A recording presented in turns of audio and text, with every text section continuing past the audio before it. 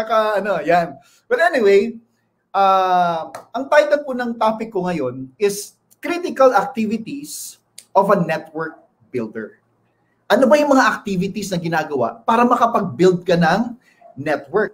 You know?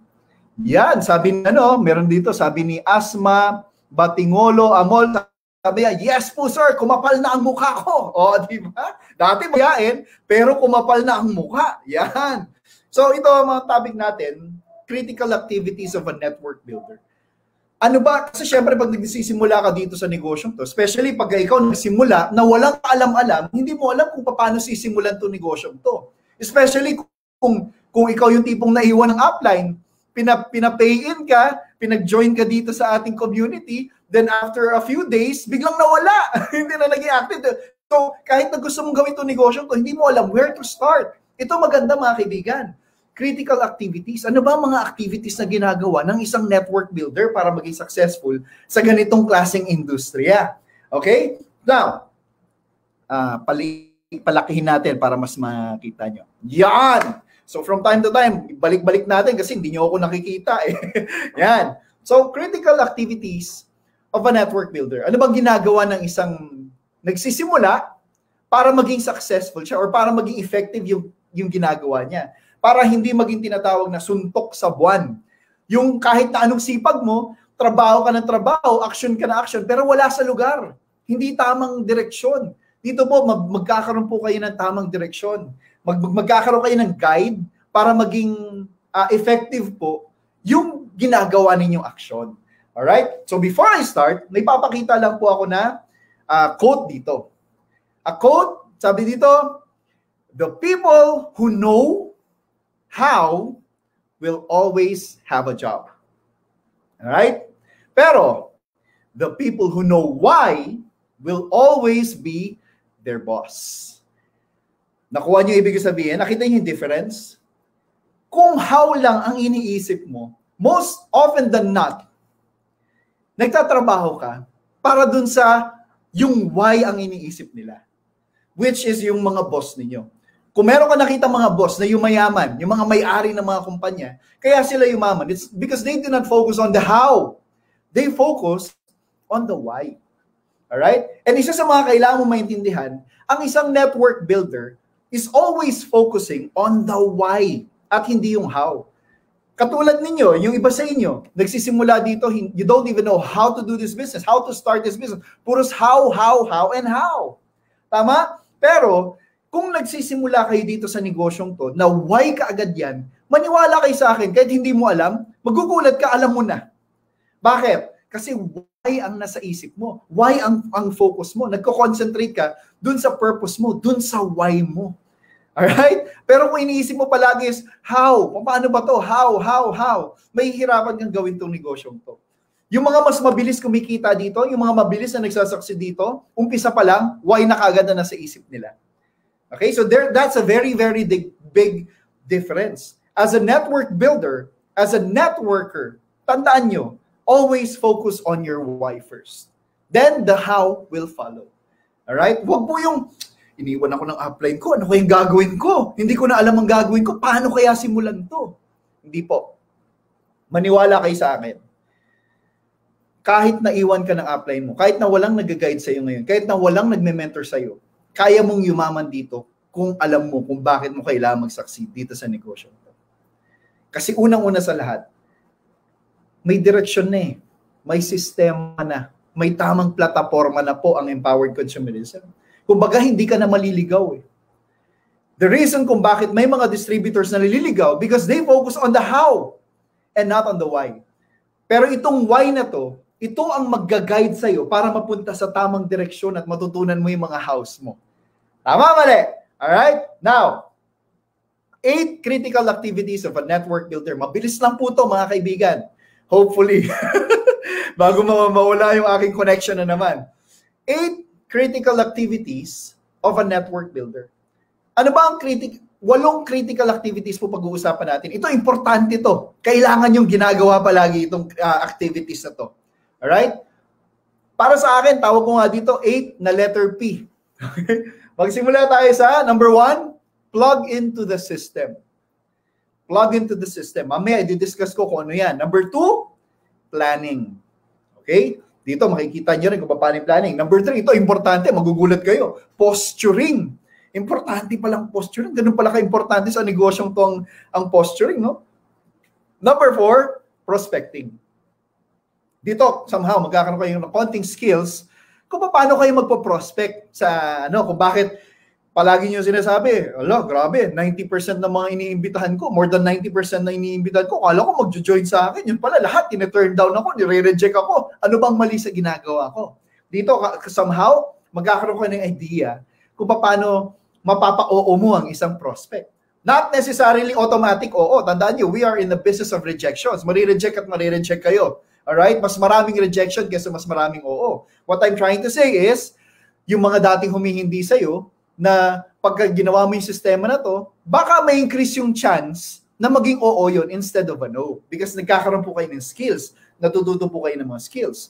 Alright? Now, number five is promoting. Yan, importante ito, promoting. Okay? Number six, presenting. Number seven is yung persistent follow-up. And number eight is yung pay-in. Okay? Pay-in. Okay? Now, if you guys are ready, kung ready na kayo matuto, mga kaibigan, please type in the comment section below. I am ready. Yan, sige. Type in the comment section below, I am ready. Gusto ko malaman kung sino mga ready na dito. Yung mga ready ng matuto. Okay? Minsan lang po mangyari ang leaders training. Every week lang po to, once a week lang po, every Friday. So, I want to know if you guys are ready by typing in the comment section below, I am ready. Thank you so much, Ma'am Judith Enero. Isa sa mga pinakauna nagsabing, I am ready. Zarmi Tigranes. Yon, ayan na, sunod-sunod na. Hindi ko na mabasa. ang dami na, no? Yan, thank you so much. Thank you so much. Now, let us start with plugging in to the system plugging into the system. Meron dito kasabihan, sabi nga, network marketing system, sabi, uh, yung uh, sinabi ni Zig Ziglar, you cannot give up on something you haven't started yet. You cannot give up on something you haven't started yet. Ang ibig sabihin nito, yung iba po kasi, mga kaibigan, hindi pa man ginagawa talaga tong empowered consumerism, nagkikwit na. Sinasabi nila, hindi para sa akin yan. Sinasabi nila, ay, ginawa ko na yan, pero walang nangyayari. Kaya ang daming negative sa labas. Yung mga negative na yun, yun po yung ginawa to negosyong to, nag-join sa community natin, pero hindi sila nag-succeed. Bakit? Kasi mali yung direksyon na ginawa nila, mali yung sistema ginawa nila. In fact, hindi pa nga talaga nila sinisimulan ng negosyong to, nag-give up na sila. Tandaan nyo, hindi kayo pwedeng mag-give up kung hindi mo pa nasisimulan ng isang bagay. Ano yun? That's why I'm telling you to plug into the system. Ano ba tong sistema na to? Ang sistema ng network marketing, mga kaibigan, hindi yan ganun kadali. Naakala ng mga iba, mag-recruit lang, magbenta lang, yayaman na. Hindi po. First thing you need to do is to understand kung ano ba talaga ang sistema ng empowered consumerism para hindi ka hindi sumama ang loob mo or hindi ka hindi ka mawalan ng motivation kasi naka-register sa mind mo na ganito pala to. Ito palang sistema ng empowered consumerism. Akala ko, recruit-recruit lang. Akala ko, benta-benta lang, yayaman na. Hindi po. May sistema tayo. May direksyon, may plataforma, gagawin mo dapat ng tamang sistema. Alright? Plug into the system. And isa sa mga kailangan nyo maintindihan dito sa negosyo to is for you to become so successful, kailangan leader ka. Alright? Ang pinakamadaling gagawin mo dito is gawin yung sinasabi yung mag-root at magbenta, yun po yung pinakamadaling gagawin nyo. Lahat, kaya namang gawin yun eh.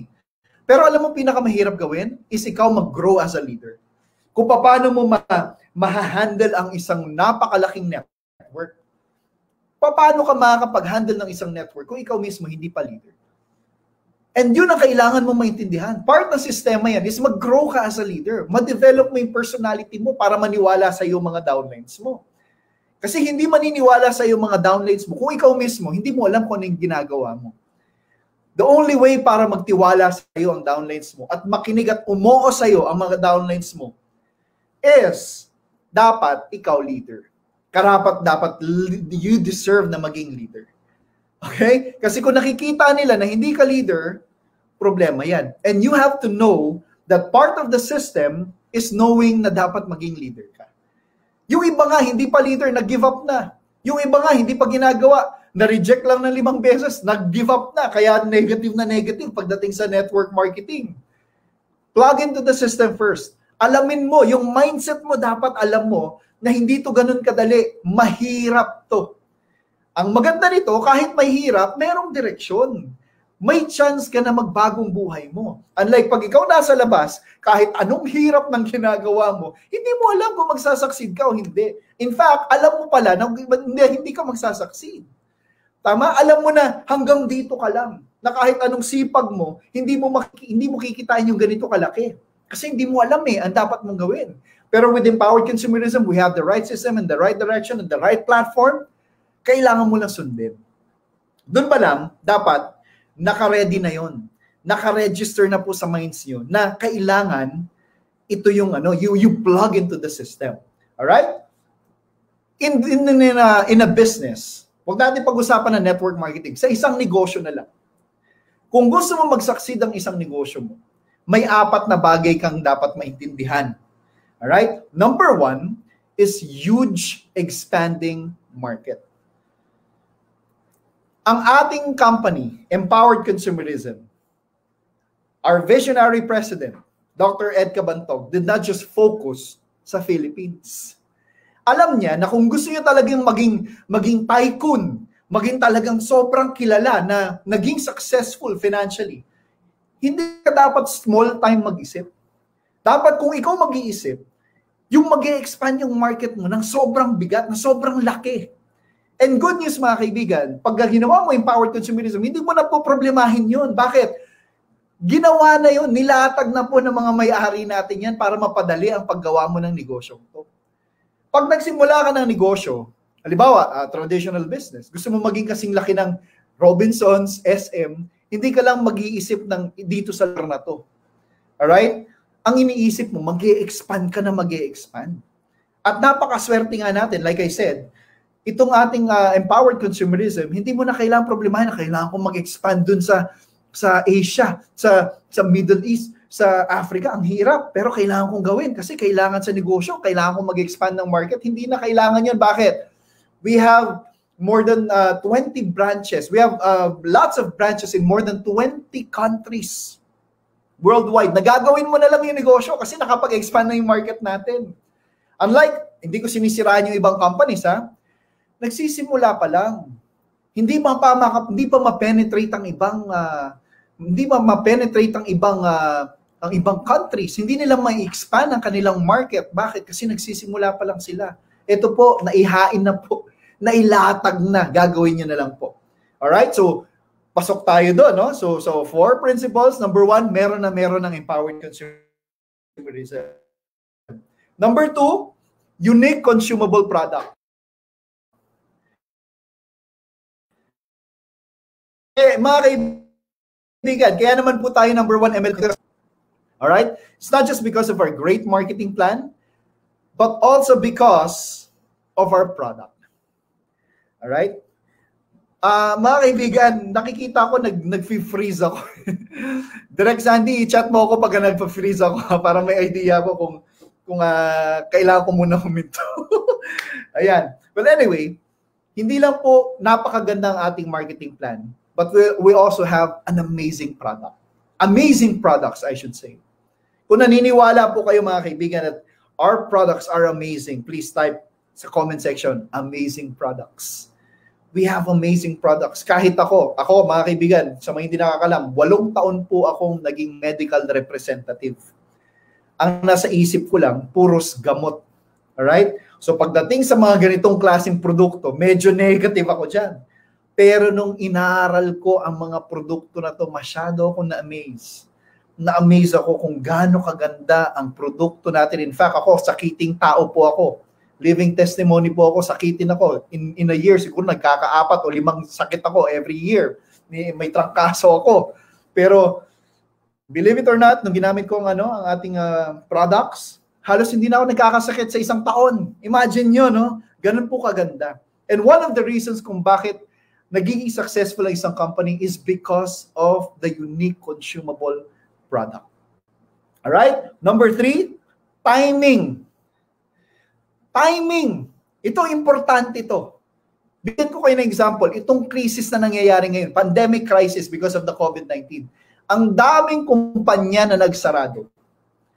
Tama mali, ang daming kumpanya na nagsarado.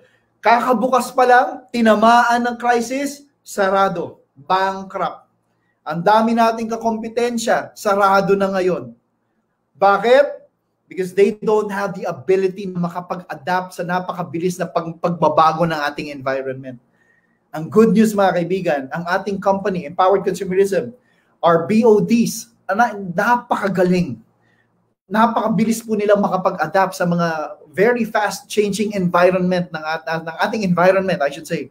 Ang bilis makapag-adapt. Nagkaroon ng pandemic crisis, hindi pa man nagkakaroon ng pandemic crisis, nanguna na tayo. We have online platforms. Marami na tayong mga leaders na ginagawang online marketing Nakasurvive? Yes. Kumita pa na mas malaki. Meron ba tayong tamang platform doon? Yes. Especially this coming July, wherein magkakaroon na po tayo ng tinatawag na top class program. The optimization pro- program, the first system-based program na gagawin ng Empowered Consumerism na open to all distributors. All right? So July 1 hanggang July 18, yun po yung enrollment period. Kung gusto yung maging part ng top class wherein isa sa mga i-discuss natin dyan, online marketing. Kung hindi ka marunong mag-online marketing, i-discuss po namin yun. Iti-train namin yun step by step. So, timing mga kaibigan, kung ikaw napakabilis mo mag-adapt sa mga changes, pala, palagi kang right timing. Right? Pero kung ikaw yung tipong hindi makapag-adapt sa mga pagbabagong nangyayari, mapag-iiwanan ka at magsasarado ang kumpanya mo. It's good thing our company napakagaling. Pagdating sa mga timing-timing, before pa man mangyari yan, nakaredy na po tayo. And lastly, mga kaibigan, ability to create leverage. Alam naman po natin yan.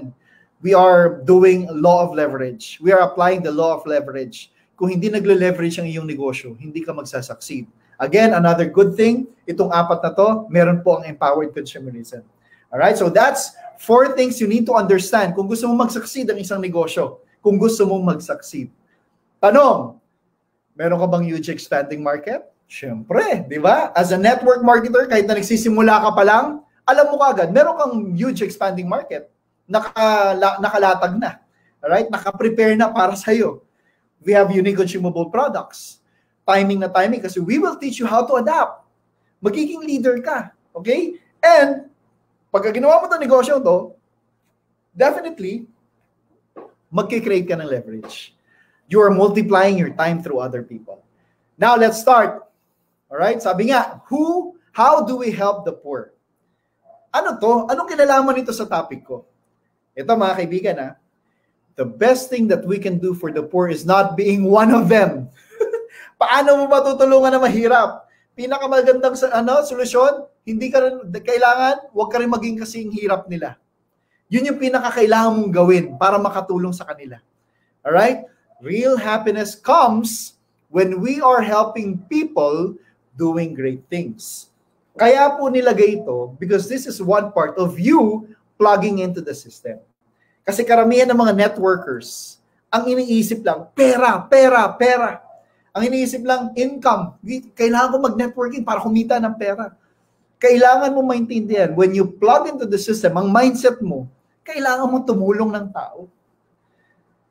Kaya na maraming kumikita dito is because they don't prioritize. Well, hindi, mahirap maging ipokrito, di ba? Kailangan natin kumita. Pero more than that, kailangan magkaroon ka ng heart, big heart na tumulong. Yung hindi ka nagiging stress, hindi ka nai-stress na gawin tong negosyong to. The only way para hindi ka ma-stress dito sa negosyong to is to have a very, very big heart to help people. Hindi hindi ka may stress kung gusto mong tumulong ng tao. And that's one way of you plugging into the system. All right? Now, let's go to the first one. Planning. Mabilis lang po to. Planning. All right? Pinakaunang kailangan mong intindihin ay number two na to, planning. All right? Number two is planning. Sabi dito, plan your work, work your plan. If you fail to plan, you're planning to fail. How important is planning? Mga kaibigan, napaka-importante po yun.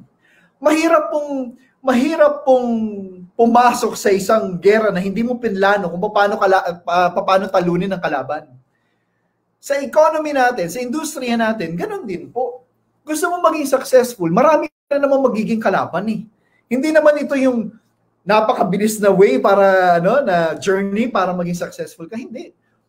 Mar yung sa daan ng journey mo, marami kang makakalaban diyan.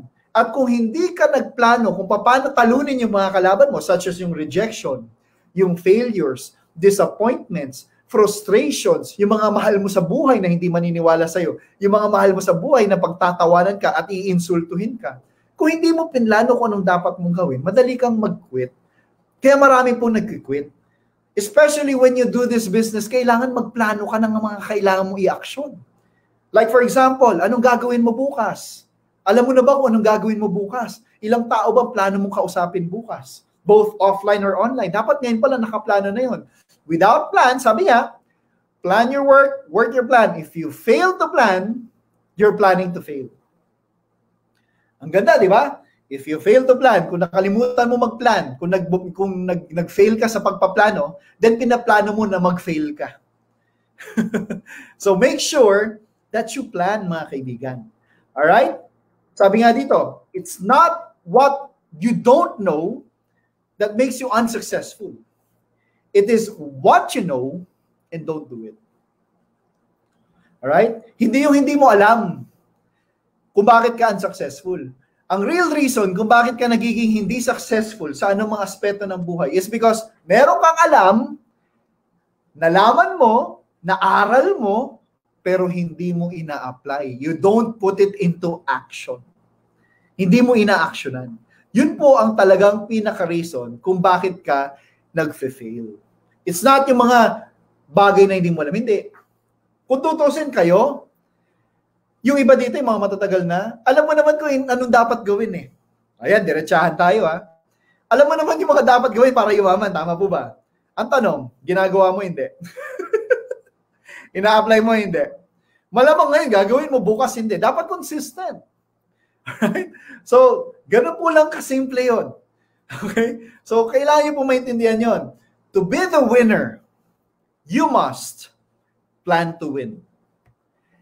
Prepare to win.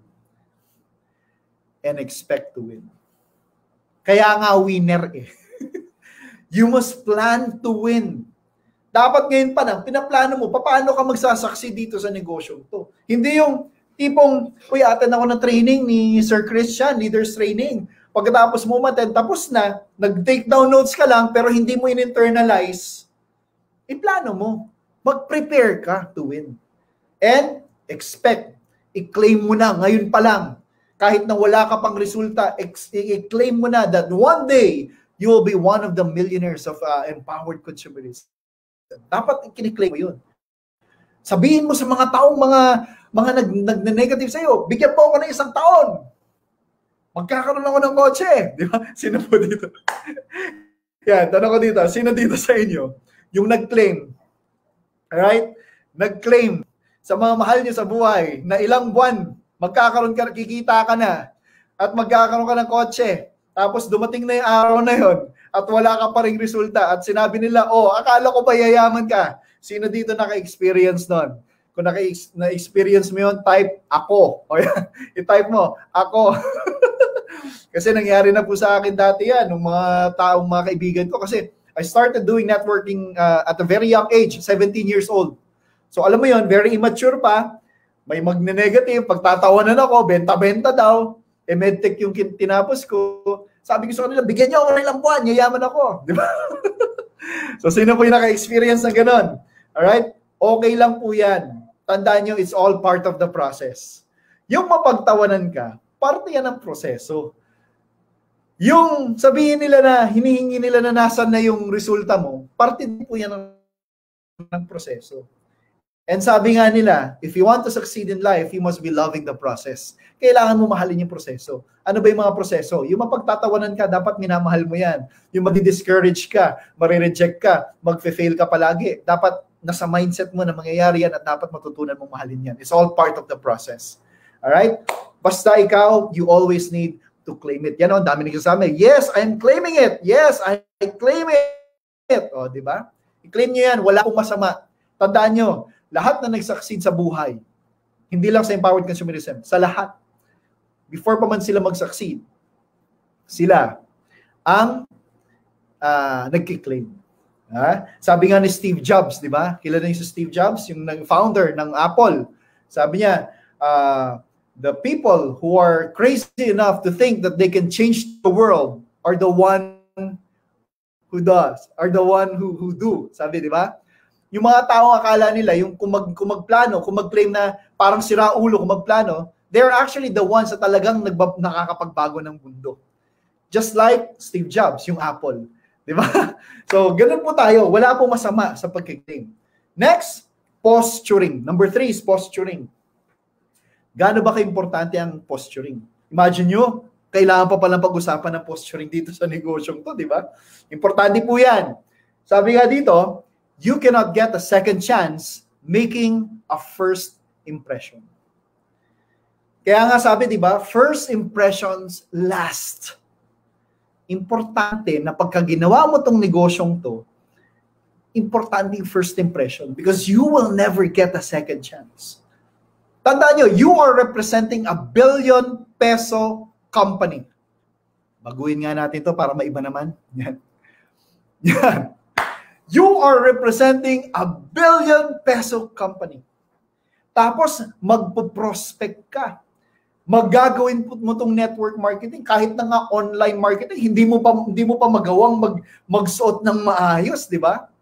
Especially sa mga kababaihan na kung akala nyo okay yung naka-sleeveless ka. Well sa karamihan hindi eh. You must be representing this company. Like like you really belong to a billion peso company. Ang point ko dito negosyante ka you're not just a networker. Negosyante ka. You have a business. At kung ikaw negosyante ka dapat, pag nag-prospect ka, unang tingin pa lang nila sa'yo, alam nila na, uy, seryoso to sa negosyo niya. Seryoso to kasi sa, sa tindig pa lang, sa pananamit pa lang, sa, sa, sa, sa way pa lang magsalita, sa, sa, sa tayo pa lang, or sa pag-upo pa lang, sa, sa mga uh, facial expression, or sa mga, ano tawag dito, yung mga body language pa lang, alam mo ng negosyante. So it's important na alam mo dapat na yung posturing is so important kasi nga, sabi ko nga, you will never get a second chance pag ikaw nag-prospect. Ano isa sa mga pinaka, uy, sabi ni Kreng Kreng Lorenzo Santos, ang galing-galing ng paliwanag mo, coach. Nako, thank you so much. I appreciate you. Yan. So, well anyway, nabasa ko lang. Yan. so, sabi ko nga, the reason kung bakit maraming nare-reject, di ba sinasabi nyo, ang hirap pala nito negosyong to, palagi ako nare-reject. Alam mo isa sa mga dahilan is because they don't see na kaya mo silang baguhin ang buhay. Hindi sila naniniwala na kaya mong baguhin ang buhay nila. Or kaya mo silang tulungan na kumita. It's as simple as that. ibig sabihin nun, they don't trust you. Wala silang tiwala sa'yo. Maybe it has something to do with kung anong suot mo. Or kung paano ka tumindig. Paano ka tumayo. Paano ka magsalita. Dapat kitang-kita nila yung confidence mo. Dapat kitang-kita nila yung yung confident ka na talagang negosyante ka na, na kahit anong gawin mo, with or without you, kaya ko mag-succeed dito. With or without you, hindi kita kailangan, may negosyo ko. Dapat ganun. Dapat makita nila, confident ka na, na hindi ka nahihiya, na hindi mo alam kung ano yung mga sinasabi mo. Posturing is so important. Alright? Now, sabi dito, in posturing, it must appear that they need you more than you need them Right? Let them feel that let them feel that with your posture. Yun yung sinasabi ko. Pag nag-prospect ka, dapat maramdaman nila na, uy, kailangan ko to. Hindi yung, ah, kaya ako pinoprospect nito dahil kailangan ako nito. Hindi. Iparamdam mo sa kanila na ayaw mo mag-join, okay lang. Kailangan mo ko, hindi kita kailangan. Ganon dapat ang mindset mo. Hindi yung pag nag-prospect ka, Pinaparamdam mo na, uy, join ka na, join ka na. Pinaparamdam mo na kailangan mo sila. Hindi po. When you do this business, iparamdam mo sa kanila na mas kailangan kanila more than you need them. Ganito kunwari, example. When you're trying to invite someone, at naging interesado. Sabi mo, uy, may negosyo ako. Tamang-tama, no? Hindi ko alam kung kung uh, coincidence ba to o may purpose kung bakit tayo nagkita. Pero meron ako negosyo. Ito ang business card ko. Kaya ako, kung ako tatanungin nyo, it's important na mag-invest kayo sa business card. Kasi mas magmumukha kayo negosyante pag meron kayong business card eh. Mas makikita nila na parang, uy, seryoso to sa ginagawa niya, may business card pa talaga. Pero, yung business card na yun, props mo lang yun. Alright? Pero never live your prospect without asking for their contact number. Parang ganito, uy, may negosyo ko. Alam mo, ito yung business card ko. Alright, tawagan mo ako. Or better yet, ganito na lang. Kunin ko yung number mo, tawagan kita bukas. Alright? Ganoon. Huwag kang aalis na hindi mo makukuha yung number nila. Pero syempre, malamang sasabihin nila, oh, ano ba yung negosyo mo? Ano ba yung negosyo mo? Eto na. Eh dahil nagsisimula ka pa lang, gusto mo nang pay-in. Ting! Ay! Halika, Mari, Mari. Halika, halika. Wag po. Wag po. Pinaparamdam mo kasi na mas kailangan mo sila. Hindi po. Iparamdam mo sa kanila na may na kailangan kanila. Na parang ganito, uy, alam mo, as much as I want to, gusto ko sana i-discuss sa'yo, hindi pwede eh. Meron kasi akong appointment. Kahit wala ah, kahit wala. Sabi mo, meron akong appointment. Uh, sayang, dami ko kasing kausap ngayon eh. By saying that, pinaparamdam mo dun sa prospect mo, yung dami palang kausap nito, ang dami palang ka-appointment nito, mukhang okay negosyo nito. Ganito na lang, tawagan kita bukas. Alright, tawagan kita bukas at tayo appointment. Pero para sa akin, if you're gonna ask me personally, ako, wag na wag kayong magpipresent kaagad. Kasi pinaparamdam mo na parang mas kailangan mo sila. Mararamdaman nila, oh, gusto i-discuss sa akin, no? importante to, kailangan, kailangan niya. Hindi po. It's important na iparamdam mo sa iyong prospect na kailangan kanila. And by doing that, mararamdaman nila na, uy, grabe, no? nireject ako. Mukhang di ako kailangan nito, daming kausap. Mukhang maganda yung negosyo nito. Then, ito na mangyayari. Tinawagan mo na bukas. Alright? Tinawagan mo na bukas. Oy bro, nararam naalala mo yung kahapon? Uh, uh, sabi ko sa'yo, meron ako negosyo. Actually, libre ako mamaya. Gusto mo, uh, meet tayo or via Zoom or online or uh, um, one-on-one presentation kung pwede. Di ba? Kasi alam mo naman, maraming restrictions ngayon. Tara, uh, ano tayo, gawin natin. Tapos sinabi niya, nako, nako, hindi pwede kasi marami akong kausap ngayon. Meron akong attend na party. Di ba?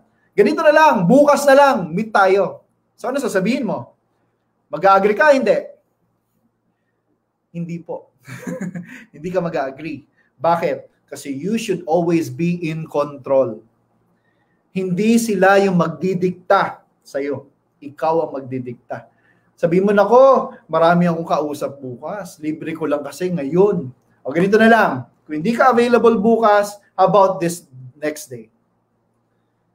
About mamayang gabi or tomorrow ng gabi? Basta dapat ikaw ang masusunod. Alright? By doing that, again, sa posturing, lumalabas sa parang, wow, negosyante talaga. Alright? Negosyante talaga.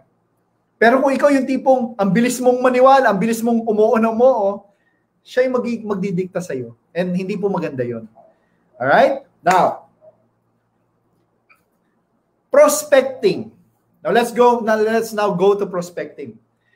Ito, makikita niyo yung difference ng prospect and a suspect.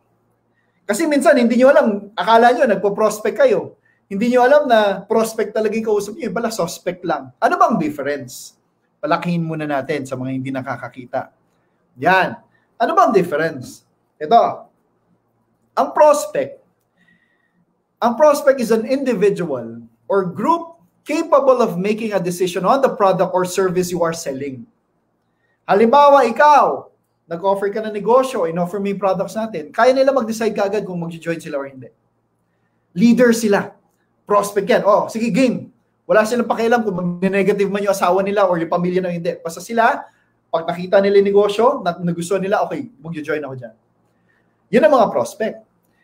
He has a need for the product. Tandaan nyo, ang prospect may kailangan, may pangangailangan, a possible desire to own that product and the financial capacity to implement that decision.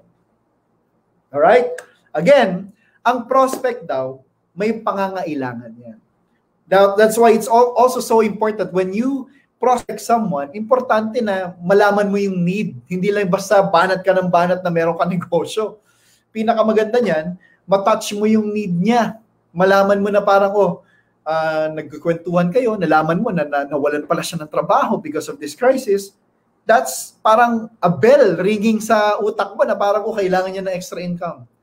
Nalaman mo na yung asawa niya may problema sa diabetes niya or may problema sa heart niya. Then alam mo na pwedeng makatulong. Again, makakatulong ang products natin. Hindi makakagamot ha, makakatulong. By finding the need at nalaman niya na kailangan kanya the business and the products, prospect po ang tawag doon. Pero kung basta banat ka lang ng banat, suspect lang yun. hindi mo kasi nakukuha yung need niya. Hindi mo alam kung magjo-join siya or hindi. Okay? Sabi nga, some, somebody in the position to make a decision. Alright? Hindi katulad ng mga estudyante. Maraming estudyante kumita. Pero karamihan, suspect lang. Bakit? Wala silang financial capacity to to join this business unless kausapin mo yung magulang at mapapay in mo rin sila. Okay? Pero yung mga walang decision, hindi makapag-decide para sa kanila, hindi hindi walang pera para makapag-pay in, mahirap po yun. They're just suspects. Ang suspect on the other hand is based on hope. Yung parang alam mo, alam mo na kahit na pinoprospect mo siya, sana mag-join to. alam mo na parang medyo mababa ang chance na maging agila yon, tawag po dun suspect. Alright? Ito ang kailangan niyong gawin. You spend time with suspects, you invest time with prospects. Pwede ka mag-spend ng time, okay? May suspect ka, may na, may nag-join or sabi nila, uh, gusto ko talaga mag-join pero wala akong pera, ititingi-tingi ko magbenta hanggang maipon ko yung 8999. Okay lang yan. Spend time with them. But you never invest time sa mga ganun. You invest time doon sa mga prospects, doon sa mga taong alam mo mag-generate ng malaking network Okay? So ikaw as a leader, alam mo kaagad kung sino yung suspect at saka prospect. So dapat dito, alam mo, ano ang difference ng prospect at saka suspect para alam mo kung saan ka magbubuhos ng oras. Alright? O again, you invest time, magbubuhos ka ng oras doon sa ating mga prospects. And you only spend time with suspects. Alright? Now, ano ba yung four C's of inviting? Ito, parang kanina na, hapyawan ko na eh. Pero, uh, four C's of inviting. Number one, compliment. Pag nag invite ka, when I say inviting, you're prospecting. Pag nagpa-prospect ka, dapat magaling ka mambola. ako, naging salesman po ako, naging medre po ako. Isa sa mga skills sa kanila na natutunan ko doon, dapat magaling ka mambola. Magaling ka mag-compliment pag nakita kayo, kahit na sabihin mo, di ba, uy, ganda naman sapatos mo, di ba? Ganda ng, ganda, ganda ng kulay ng sapatos mo. Pag halimbawa, mare, di ba? Uy, mare, ganda naman ng ano ng, magaling ka mag-compliment. Uy, parang ang, ang mo ngayon, ang, ang blooming mo ngayon. Ganon, di ba? Pero wag na wag magsasabi na, hala, ano nangyari sa'yo? Ba't ka tumaba? Wag ganun. Hindi po compliment yun. Hindi makikinig sa'yo yung, yung tao, yung prospect mo. Alam mo, kahit na tumaba yan, okay lang yan. Kahit na tumaba siya, i-compliment mo pa rin, alam mo, ang ganda mo ngayon. Pero alam mo, at the back of your head, ang grabe naman tinabahan nito. Dapat magaling, magaling ka bola. Again, it's part of the skills na kailangan matutunan. Magaling, magaling ka ma'am mag-compliment. Oh, you look good in your dress. Ang ganda naman na suot mo. Saan mo nabili yan? Pag, alam, ikaw, tanungin kita, pagka ikaw kinompliment ko, ang ganda naman yung t-shirt mo, saan mo nabili yan? Di ba sarap ng pakiramdam? Uy, saan mo na, ang bango naman ang pabango mo. Saan mo nabili yan? Di ba ikaw yung tipong masabi, ay, mura lang to, wala to, di ba? Gaganon-ganon ka. Pero ano yung nararamdaman mo, di ba? Sarap ng pakiramdam. When you're trying to prospect, dapat magaling ka mag-compliment para makinig sa iyo yung tao. At para maging komportable sa iyo. Magaling ka dapat mag-compliment. Pero wag naman yung garapalan. Yung di mo, uy, grabe, pumayat ka ngayon, pero nag-gain siya ng 100 pounds. Insulto po ang tawag doon, hindi po compliment. Alright? Insulto ang tawag doon. Dapat, yung medyo swabe lang, okay? yung medyo swabe lang. Di ba? Huwag naman yung garapalan. Look for something good about the person, sabi nga dito. Curiosity. Okay, another way for you to to uh, create curiosity is yung sinabi ko kanina na iparamdam mo sa kanila na mas kailangan kanila more than you need them. Ay mas kailangan, yeah, tama, mas kailangan nila more than you need them. Pag kasi na, pag hindi mo pinrasan ka agad yung negosyo, nagkikreate ka ng curiosity. Ano kaya yun? Sasabihin niya, ba't kaya, ang dami namang kausap nito, hindi niya mag-present sa akin negosyo. Ano kaya yun? Maganda yun. Nakakapag-create ka ng curiosity. Or ano pa ba? Like for example, ako nasa taas, na, na, naligo kasi ako pagdating ko na office. Yung ating energy bracelet. Pag nagko-compliment ka, pag-uusap mo siya, uy, igaganon ganon. Huwag mo, huwag naman yung garapalan again, huwag naman yung obvious na pinapaganon mo, di ba? Pero magsalita ka lang, di ba? Magsalita ka para makita niya yung suot mo. Uy, ano yan? Again, you're creating curiosity. Or suot mo yung energy pendant mo, di ba? You're creating curiosity. Para matanong nila ano yan. Di ba? Yung iba, yung iba nga, di ba, pag nasa bahay, yung offline days pa lang, di ba? Ang ginagawa nila, meron silang kape. Ginaganon-ganon nila, di ba? Kahit na hindi naman nila ay iinumin. Para lang makita, ano yung ginaganyan mo? Ay, ito, yung product namin. Ah, di ba? So, importante yun yun. You create curiosity when you're trying to prospect.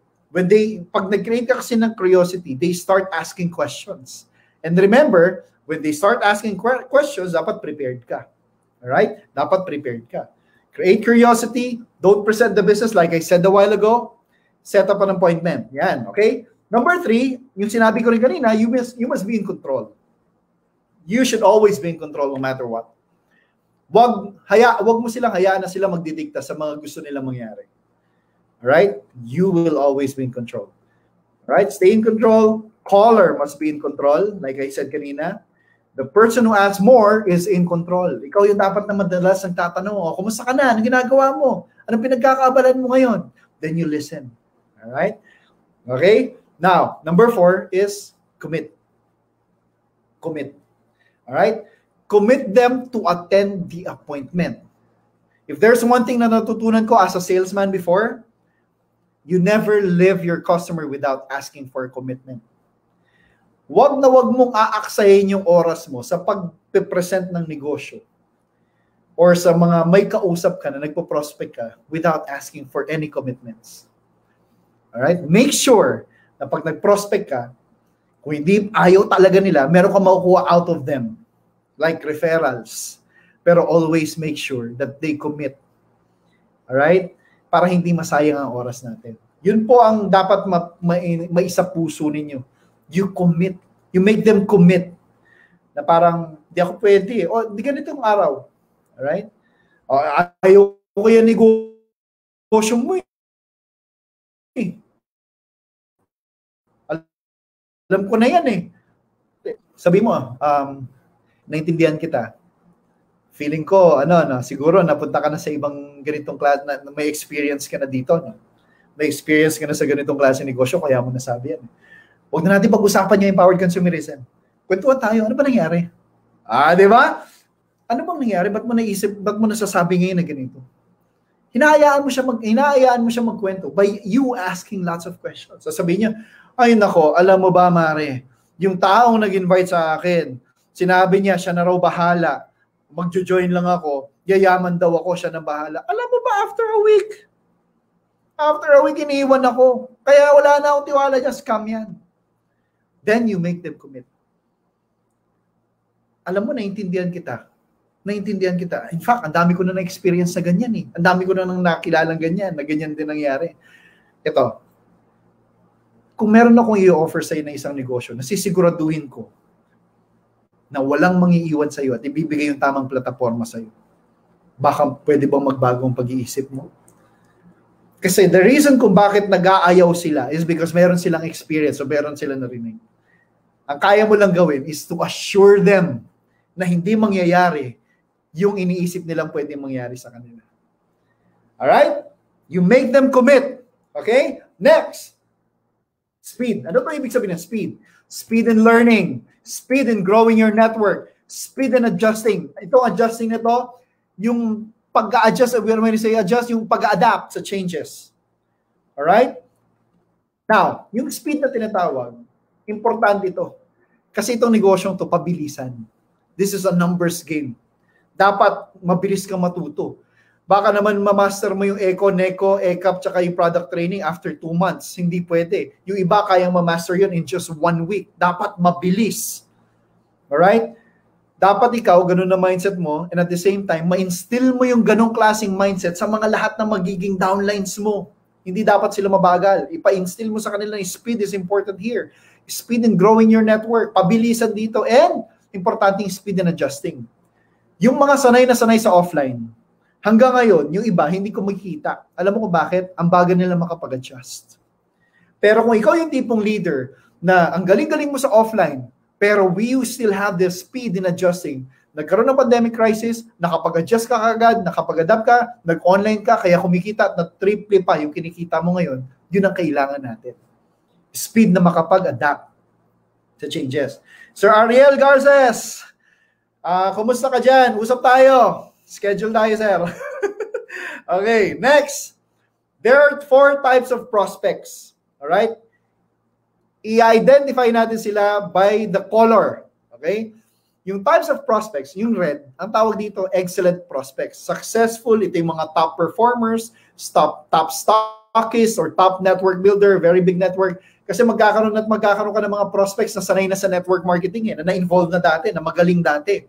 Pero magkakaroon ka rin ng mga prospects na ang priority nila is makatulong lang.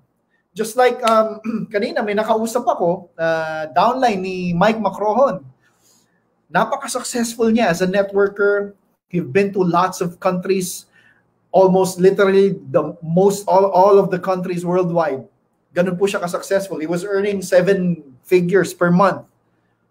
Pero para sa kanya, earning money is just, you know, sabi niya secondary. Kaya siya nagiging successful sa network marketing is because he wants to help. Yun talaga yung passion niya, tumulong ng tao. He has a very big heart. Meron at meron kayong mga ganong downlines. So, itag niyo yun as yellow downlines. Alright? meron din kayo, magkakaroon din kayo ng green downlines. Ito yung mga knowledgeable, mga magagaling, ang galing magsalita, ang daming alam, di ba? Ang bilis makapag-adjust sa mga information dahil magaling.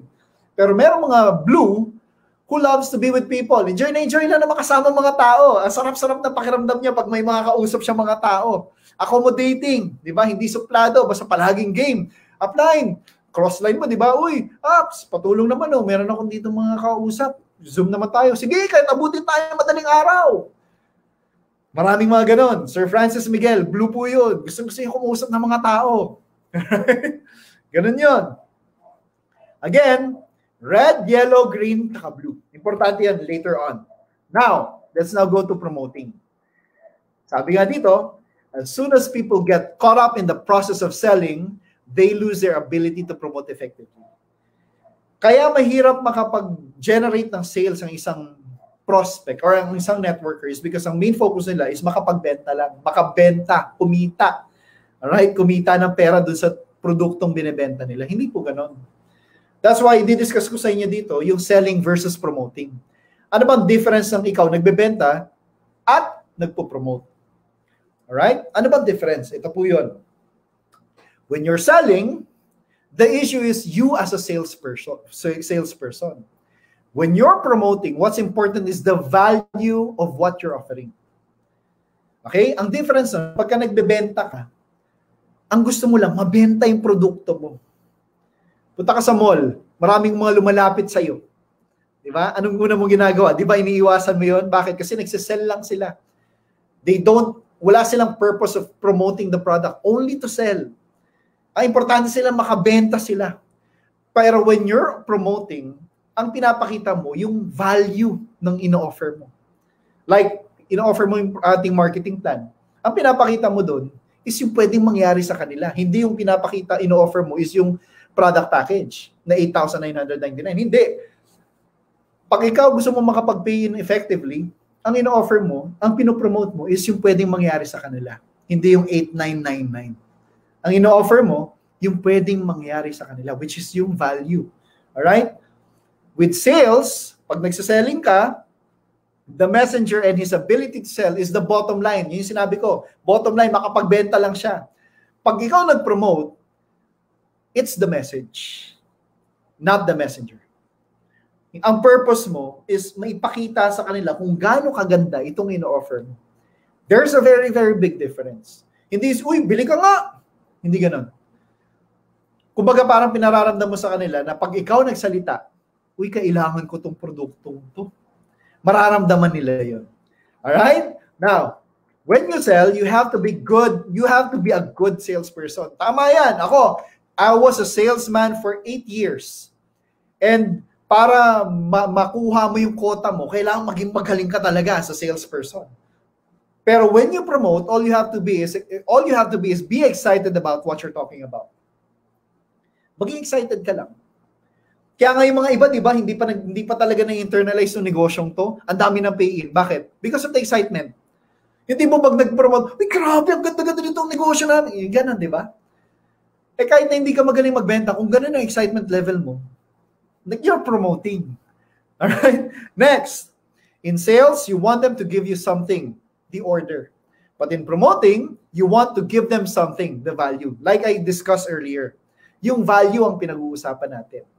In sales kasi, ang gusto mo lang, order. Mag, makapag-book ka ng order. Pero sa promoting, pinaparamdam mo sa kanila, gusto mo makatulong by offering them your product, by offering them your business. Kasi ang gusto mo tumulong. Alright? So that's a very big difference between selling and promoting. Okay? So again, sa mga nagko-comment dito, maraming maraming salamat both sa Facebook at saka sa ating uh, YouTube. Thank you so much. Thank you so much. Bilisan na lang natin to. When you're selling, it's about you. Pag nagbebenta ka, ikaw. Ikaw ang bida. Pero, if they, sabi nga dito, if they say no, they're saying no to you personally. Kaya sila umayaw, hindi hindi sila umayaw dahil sa product, umayaw sila dahil sa iyo. Pero, when you're promoting, it's about them. Yung, if they say no, they say no for themselves, not for you. Yung malamang tipong nakita nila yung ganda ng produkto, you promoted, yung tipong ang ang sama-sama ng loob nila na hindi sila makabili sa iyo, simply because baka wala talaga sila mabili. At ang sama-sama ng loob nila kasi ang galing mo, kasi napaka uh, napaka-sincere mo sa pagpo-promote ng produkto. Ganun 'yun. Pero when people say no to you, at parang wala lang silang pakialam, you are selling. Pero when people say no to you, pero parang hiyang, hinayang na hinayang sila, hindi sila nagno-no sa iyo. Nagno-no sila para sa sarili nila. All right? Now, selling is taking, promoting is giving. Di ba? Pero dito na tayo. Instead of counting how many retail sales you've made this week or how many pay-ins you've made this week, count the number of people you've told about the products or the business. Alright? Imbis, imbis, imbis na isipin mo kung ilan yung mga nabenta mo, isipin mo, ilan na ba yung na, na-offeran mo ng negosyo na pwedeng magbago ang buhay nila, na matulungan nila. Ah. Instead, instead of how, uh, counting how many prospects you've signed up, na papayin mo, count the number of times you've enthusiastically shared your opportunity. That's what really counts. Pag ang binilang mo is yung excitement mo kung paano mo diniscuss yung, yung presentation mo, yung opportunity, you're not you're not after income. Kaya mo kaya ka excited, alam mo kung bakit? Kasi itong network marketing, itong empowered consumerism is beginning to be your passion. Tandaan nyo, once na naging passion mo empowered consumerism, hindi mo may isip na may stress ka. Hindi mo may isip na mahihirapan ka. Because once na naging passion mo empowered consumerism, lahat ng gagawin mo, ma-reject ka man, maka-pay in ka man, mapagtawanan ka man, kumita ka man, lahat yun, mahal mong gawin because ang empowered consumerism as a whole is your passion. So, kung ang purpose mo, kung ang iniisip mo, ang focus mo is yung kung ilan yung mga tao na offeran mo na negosyo na excited na excited kang matulungan sila, that's what really counts. That's what really matters. All right? Now, what are we promoting? Sabi nga dito, we are promoting a business opportunity that potentially can change people's lives. A lifestyle of financial and time freedom. In short, freedom to do what you want, where you want, and whenever you want to do it. Yun ang pinopromote mo. Hindi ka nagpo-promote ng negosyo na ito kikita ka. Hindi. Ang pinapa-promote mo whenever you prospect someone is yung yung value, yung magbabago ang buhay nila pagka ginawa tong negosyo to. Okay? Now, ano ba makukuha ng prospects natin? Ito tandaan, ito mindset mo. Pag ikaw nagpo-prospect, ano ba makukuha nila? Ito, sagot dyan. A solid business opportunity that offers world-class products. Again, our products are world-class. That are consumable, affordable, and, and with a wide market reach that can generate residual income. It can generate passive income in the long run. Ito naman ang goal natin pag nagne-network tayo eh. Yung tinatawag na passive income. Wherein yung passive income, ito po yung income wherein the money starts working for you. Yung pera na nagtatrabaho sa'yo. Hindi na ikaw yung nagtatrabaho para sa pera. Sa umpisa, ikaw magtatrabaho para kumita. Pero once na ma-create mo na yung empire mo, yung laki ng network mo na napaka-stable at napaka-biga, ah, napaka-strong, yun na po yung magkakaroon ka ng tinatawag na passive income na kahit na magbakasyon ka for how many months, kumikita ka pa rin. Yun yung pwede mo ipakita sa kanila. Alright? Yung long run. Yung long term. Okay? Kasi karamihan ng mga prospects mo, especially if you're, you're prospecting employees, ang may kita nila yung long term nila eh. Sa career nila ngayon. Ang long term nila, yung boss nila na malamang hindi rin kumikita ng ganun kalaki. Pero pag ipakita mo sa kanila yung long term na pag ginawa nila itong negosyo to at itong mangyayari sa kanila, then nagbibigay ka ng panibagong uh, vision sa kanila. Panibagong uh, opportunity para sa kanila. Alright? Now, bilisan na lang natin to presenting. Proper preparation prevents prevents poor performance. Tama yan. Sino po naka-experience sa inyo? Sino po naka-experience sa inyo mga kaibigan na nung nag-present kayo, alam nyo, from the very start, habang nandun ka pa lang sa mind setting, alam mong mag-hihindi na yung prospect mo. Sulat nyo, ako or me. Sino po dito yung naramdaman nila na hindi na mag-join to? Umpisa pa lang ng pakikipag-usap mo. Sino po dito sa inyo? Type ako or type me. yung ramdam na ramdam mo na hindi na mag-join to. Ako ilang beses ko na naramdaman yon. Yan, si Sir Ariel, naramdaman na yan. Yung mga kumita dito, naramdaman na yan nung nagsimula sila. Alam niyo kung bakit? Kasi natural lang naman po na pag ikaw nagsimula, wala namang perfectong tao. Pag nagsimula ka, especially if you're new in this business, madalas, nararamdaman mo na hindi ka agad yung taong kausap mo because alam mo kaagad na mayroong mali sa ginagawa mo. And that's poor, I mean, I'm sorry, walang preparation. Alright? Walang preparation. Pero kung naghanda ka, hinanda mo na parang ito na ang mangyayari sa iyo, yung poor, poor performance, ma-avoid po natin yan. At eventually, baka makinig sa iyo yung taong pinoprospect mo. Alright? So when you present, make sure na there's proper preparation talaga. Na talagang nakikinig sila sa iyo. okay? If you don't prepare, expect na mag, mag-perform ka very poorly. Okay? Next, Number one, when you present in importante introduction, sino ka ba? Alright, napaka-importante yun. Yung bigla ka na lang magsasalita, walang introduction, hindi nila alam kung sino ka, ano ba itong pinipresent mo. That's why pagka meron kaming echo, alright, medyo humihina yung signal eh. Hindi ko alright. Yan, that's why kung meron kaming echo, we always make sure na ini-introduce namin yung sarili namin. Importante yun na ini-introduce namin sarili namin. Alright? Number two is yung product presentation. Huwag ka magpe-present na hindi mo alam kung ano yung produkto or yung, I mean, product presentation or the presentation of the marketing plan. Dapat alam mo. Bakit? Heart and soul natin yan eh. Heart and soul ng, ng pag-succeed mo dito sa negosyo to is yung product presentation and the business opportunity. Dapat dun pa lang, alam mo na, alam mo na lahat hindi ka na dapat doon na pumapalpak. Pero most of the time, pagkabago ka, pumapalpak. Kaya alam mo, pero it's, it's natural, it's normal mga kaibigan. Uh, don't get me wrong. Tandaan nyo, palagi ka na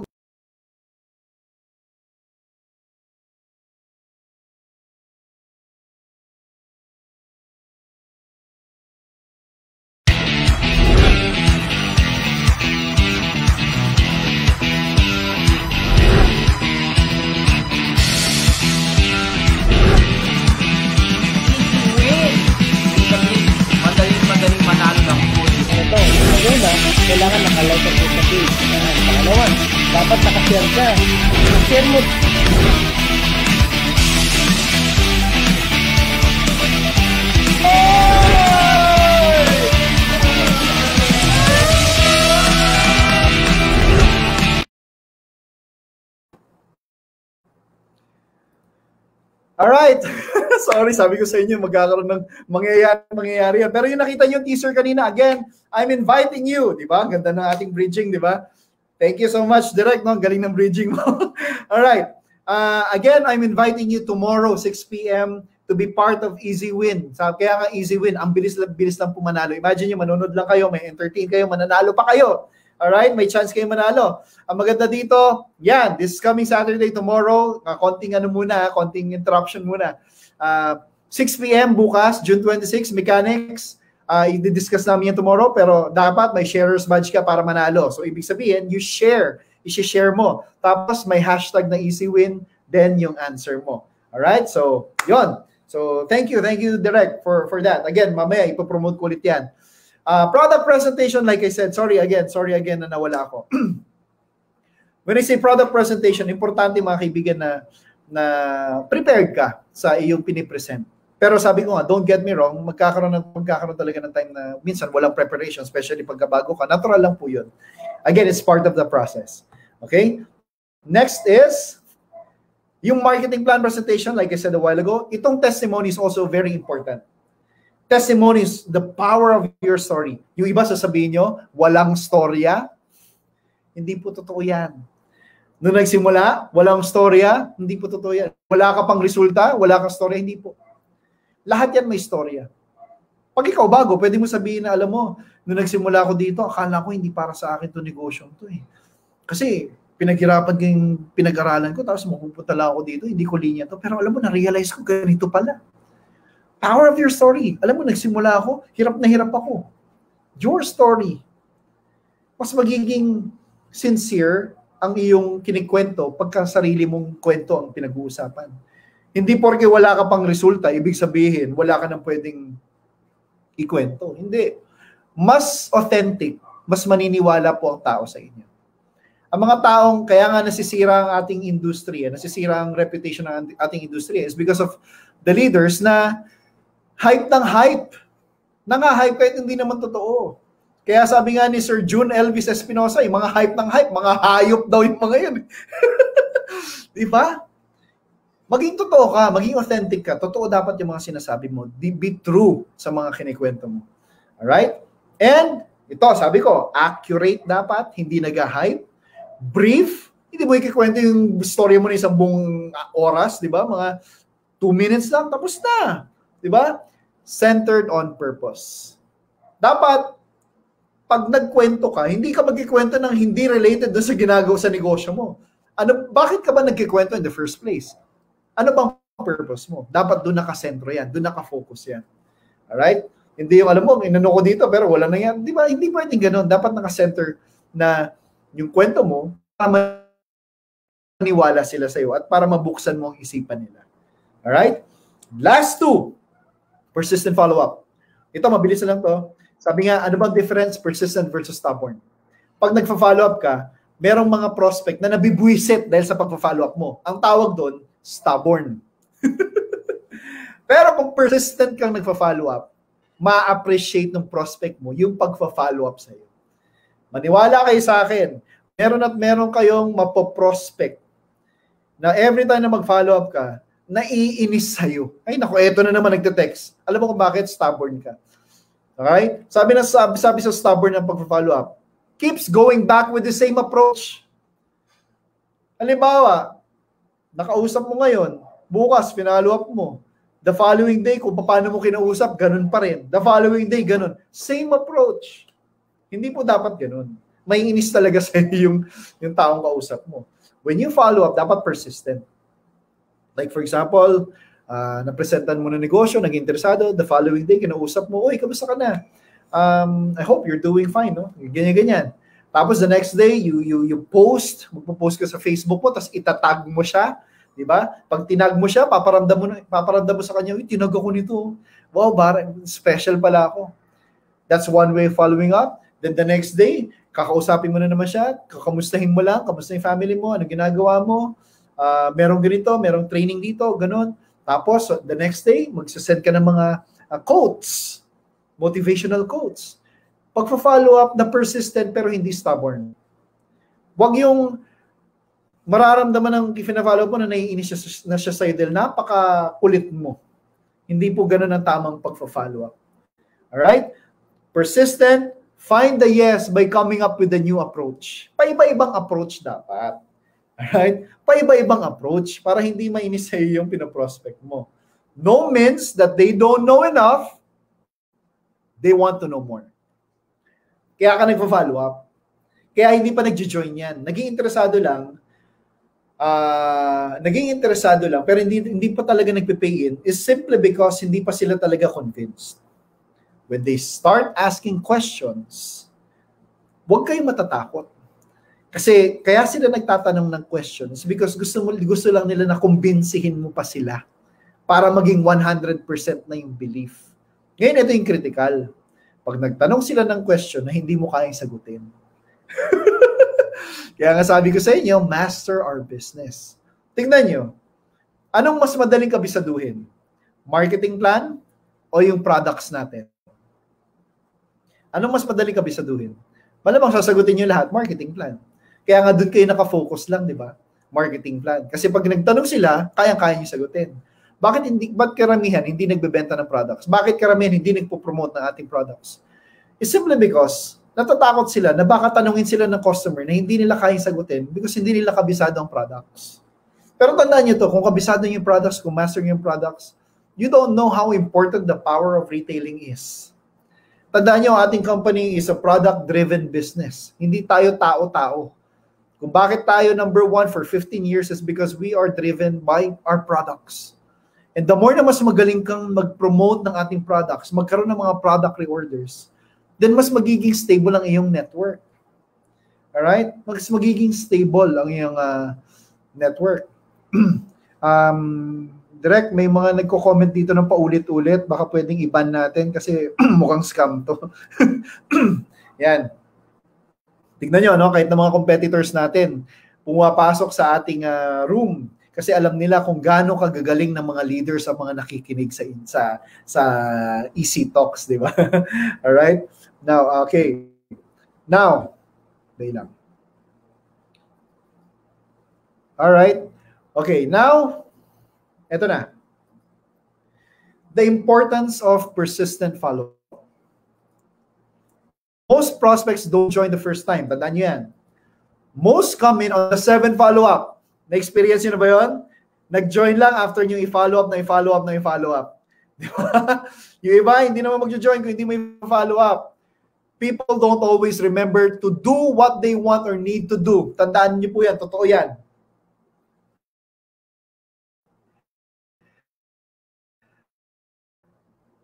Minsan, hindi naman automatic makakabisado nila yan eh.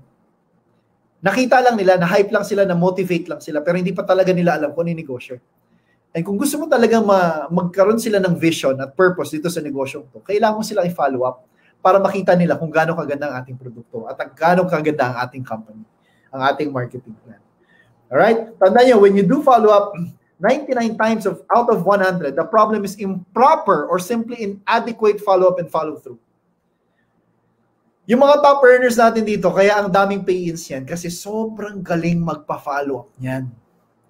Yung mga hindi nakakapagpa-pay-in, meron pong problema yan sa pagpa-follow up.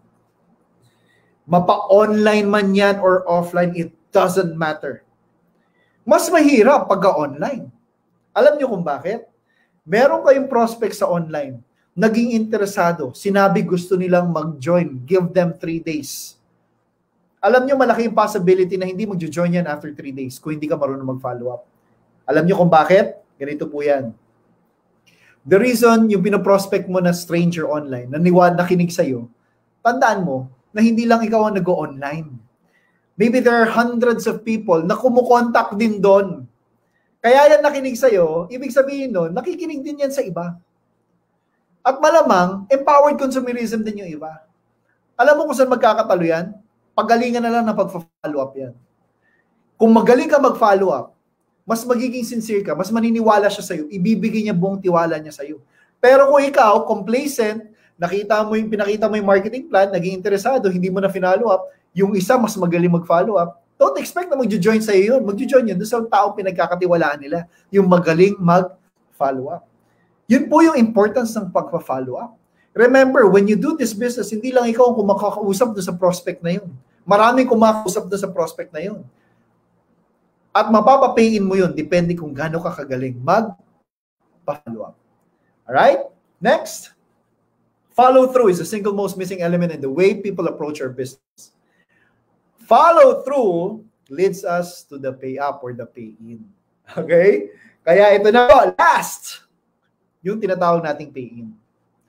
Dito naman at, at the end of the day, the reason we're doing this business, yung iba gusto tumulong pero at the end of the day, yung pay-in naman talaga ang pinakahanap natin dito. Gusto natin magbago buhay. Gusto natin bigyan ng magandang future ng ating pamilya. And if you don't have the skills in uh, magpa-pay-in sa ating mga prospects, malaki po, malaki, malaki po ang problema natin dyan. Alright? Ano ba to? Simply ask guide questions based on the four types of prospects. Naalala niyo yung kinuwento ko kanina, yung four types of prospects? Yung green, blue, red, tsaka, uh, ano ba yun? Yung apat? Alright? Now, yung pinakauna, when would you like to start earning in empowered consumerism? When would you like to start helping people through empowered consumerism? Itong prospect na to, ito yung na mahilig tumulong So, pagka alam mo yung prospect mo, mahilig tumulong sa tao, enjoy na enjoy yung tumulong sa tao, ang tanong mo dapat dyan, gusto, kailan mo gusto magsimula na tumulong sa tao? Alright? Pero kung ang prospect mo is more of earning, when would you like to start earning in empowered consumerism? Alright? So, depende yan. Dapat kabisado mo yung mga prospects na yun. When would you like to learn more and start doing about doing the empowered consumerism, empowered consumerism business? Ito yung mga tipong gusto mong salita, yung magaling, ma, ma, ma, mahilig mag-aral. Yan yung mga tamang tanong mo. Pero meron dito na gusto lang makipag-usap, gusto lang makasama ng maraming tao. When would you like to start building your team? Huh? Here in Empowered Consumerism.